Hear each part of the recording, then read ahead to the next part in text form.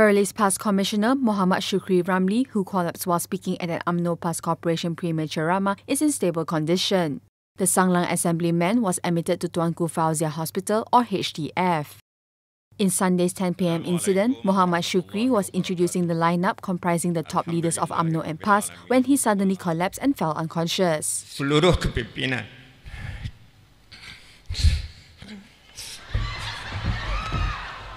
He was given respiratory assistance by a medical unit before a civil defense force ambulance took him to HTF. InsyaAllah